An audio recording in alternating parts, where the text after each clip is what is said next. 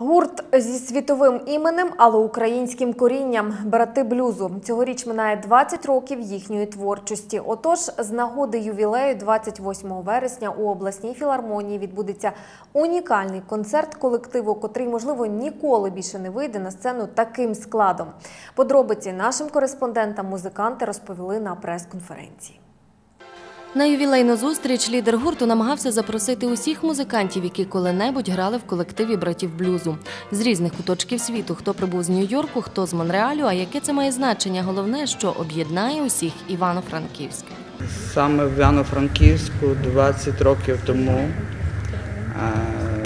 відбувся наш перший концерт. Ми е, вчора по, після репетиції це відчули, що нам дуже хвилююче і приємно знову грати разом. І ми е,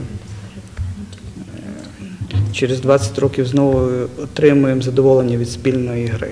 Гурт вийде на сцену в унікальному складі: дві гітари, три скрипки. Глядачі побачать десятьох музикантів, які не впевнені, чи матимуть ще нагоду зіграти разом.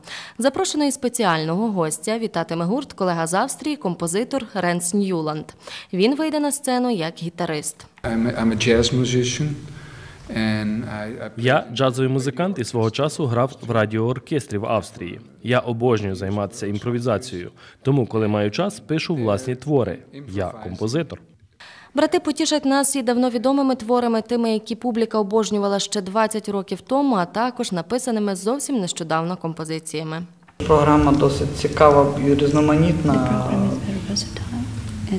В кожному, в кожному творі, в кожній пісні є щось своє. І практично немає те, що називається прохідних пісень, тобто пісень, які кожна піс... за кожною піснею стоїть якась історія. 20 років тому прості хлопці з провінційного містечка Калуша створили гурт брати блюзу. І хто б міг подумати, що саме ця формація стане першою групою східної Європи, яка виступатиме на найпрестижніших фестивалях. Двічі гратиме для американського президента, а їхні треки, промоутери та діджеї відбиратимуть для ротації на радіостанціях всього світу.